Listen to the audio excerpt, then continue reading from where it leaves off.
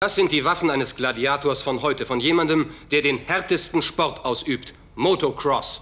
Also, ich kann nur sagen, die Sicherheitsexperten wissen alles besser. Ich fahre schon seit fünf Jahren Rennen und habe noch nie einen schlimmen Sturz gehabt. Alles, was ich brauche, ist mein zuverlässiger Helm. die Fall! Also mein Kumpel Kelly wollte schon immer, dass sein Bild mal auf einer Lebensmittelpackung erscheint, wissen Sie? Und jetzt weiß er, was das für ein Gefühl ist. Dann versuch du es doch auch, Cornflake, hä? komm schon, komm schon. Bewegt eure Hintern und holt die Räder raus, bevor sie ohne euch anfangen. Hintern, darf man das hier sagen? Was ist das für ein Gefühl, so eine große Schwester zu haben, die sich beim Rennen um alles kümmert, Kelly? Hey, haben Sie schon mal Sabrinas Thunfischsalat gegessen? Es war eine Frage der nationalen Sicherheit, bis ich sie aus der Küche raus hatte. Hey, Sie sollten Ihre schlechten Essgewohnheiten sehen. Ihre Mägen landen eines Tages noch im Labor. Kelly, es gab eine Menge Kritik, Sie seien in letzter Zeit ziemlich hart gefahren. Hey, Sie nennen das hart fahren? Ich nenne das die Vorteile nutzen. Ich nutze die Chancen. Wie soll ich sonst gewinnen gegen solche harten Jungs? Die sind gut. Die Besten. Wirklich oh, die ja, Besten. ja. Aber das Schicksal schlug an diesem Nachmittag zu, als die Fahrer den Widows Mountain hochfuhren. Den letzten Abschnitt der Oakside-Rennstrecke.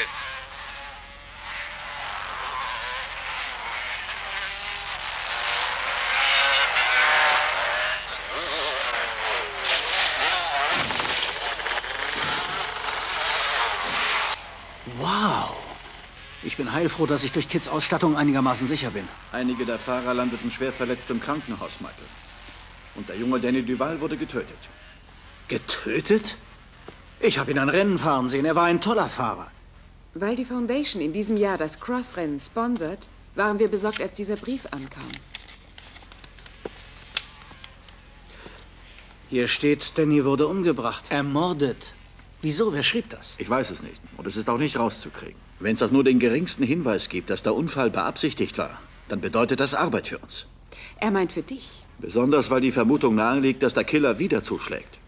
Ich habe Kit programmiert mit den Einzelheiten des Rennens und der Teilnehmer. Du kannst dir alles in Ruhe auf dem Weg nach Oakside ansehen. Ich weiß, die Einnahmen sind für wohltätige Zwecke. Aber was hat die Foundation eigentlich mit einem so harten Sport wie Motocross zu tun? Du wirst es wahrscheinlich nicht glauben, aber Devin ist zufällig ein echter Fan davon. Mhm. Du hast recht. Ich glaub's nicht. Hör zu, Michael, ich erklär's dir. Devin machte sich bei der englischen Tourist Trophy einen gewissen Namen. Devon?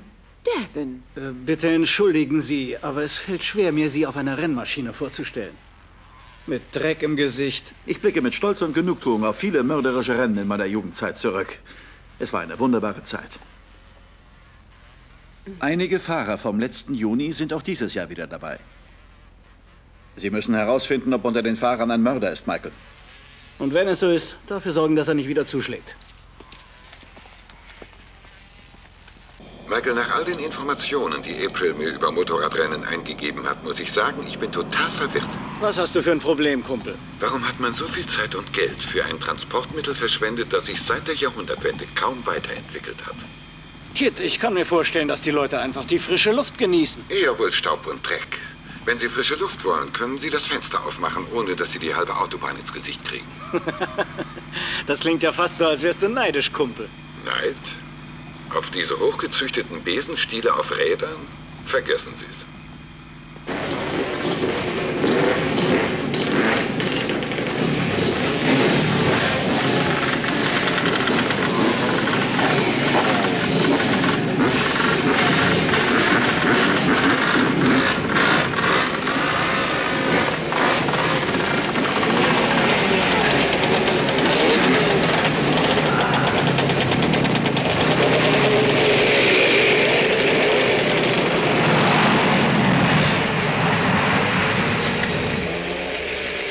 Zeig mir doch mal den Kurs, Kit. Da könnte es sehr viele Unfälle geben. Der Kurs ist auf Rennen nicht zugeschnitten. Überall Schutz, Schlaglöcher, große klaffende Spalten und zahlreiche Matschlöcher. Hört sich wirklich nach einer hübschen Beschreibung an. Sie meinen, dass das so gedacht ist? Ja, Kit, das ist wie ein Härtetest. Sie schmeißen alles, bis auf den Küchendreck, auf die Fahrer und sehen dann, wer durchkommt. Das ist anscheinend genau das, was diese überzüchteten Zweiräder brauchen. Oh, denkst du, du schaffst den Kurs, hä? Ich glaube, eine Antwort auf diese Frage erübrigt sich. Gleich da vorne steht einer mit dem Namen Fontaine auf seiner Jacke. Gib mir, was du über ihn hast. Ein Wade Fontaine war auch in diesen Unfall verwickelt. Wer könnte mehr über diesen Zusammenstoß wissen als jemand, der dabei war?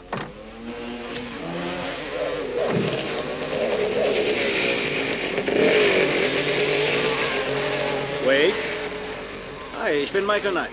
Ja, schön für Sie. Ja, ich bin einer der Sponsoren des Motorradrennens und bin für die Sicherheit verantwortlich. Ach ja? Ich habe da einige Fragen wegen des Unfalls letzten Juni. Letzten Juni? Eine alte Geschichte, Mann. Für Sie vielleicht, aber ich höre immer noch gern was Neues. Sag ihm doch, wie der Unfall passiert ist, Fontaine. Sie nennen ihn den Trickser. Und warum?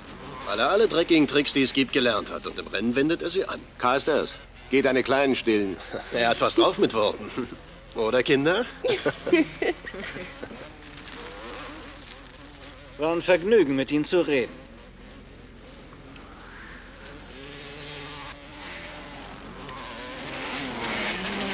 Beide Fahrer sind bei dem Unfall verletzt worden, Michael. Und ich weiß auch warum. Sie kämpfen immer noch. Kit, ich habe das Gefühl, als ob noch einiges auf uns zukommt. Hallo, hier ist Roger Floyd, Und Alina Webster. die Sie herzlich einladen zu Ihrer Wochenend-Talkshow Talk About. Und wir werden mal hinter die Kulissen des Oakland Wohltätigkeitsrennens sehen. Wir werden schnelle Maschinen sehen. Und wirklich schnelle Rückseiten. Bei der heutigen Wohltätigkeitsveranstaltung geht es um 100.000 Dollar für den Gewinner. Es wird ein Wahnsinnsrennen werden über diesen unglaublich schweren Kurs.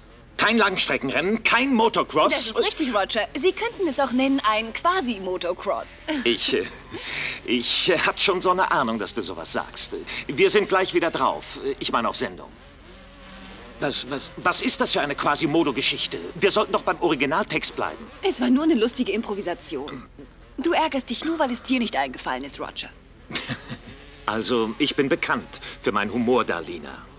Dann verstehe ich nicht, wieso du nicht einen guten Satz akzeptierst, wenn du ihn hörst. Ich gebe auf. Ich gebe auf. Roger, warte. Wer soll jetzt die Werbung ansagen?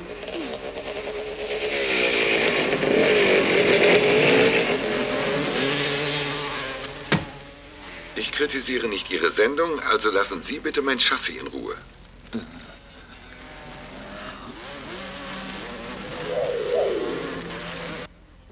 Es ist schon sehr wichtig, Reklame zu machen. Das bringt eine Menge Geld ein. Also Ihre Poster grinsen von mehr Wänden als der Präsident, hm? Ich mache mit Postern kein Geld mehr. Jetzt sind's T-Shirts. Hier. Ich verkaufte fast so viel wie E.T. letztes Jahr.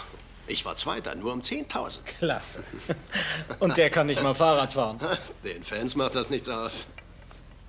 Hören Sie, Lee, was hat den Unfall letztes Jahr verursacht?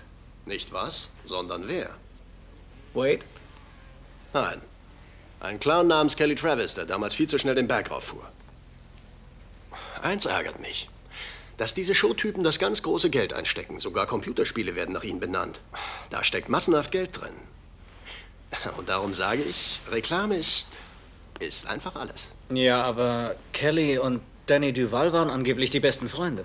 Hey, wenn man ein Rennen so fährt wie Kelly, dann ist einfach alles drin. Aber im Vertrauen. Hart fahren und so, schmeißt dann raus.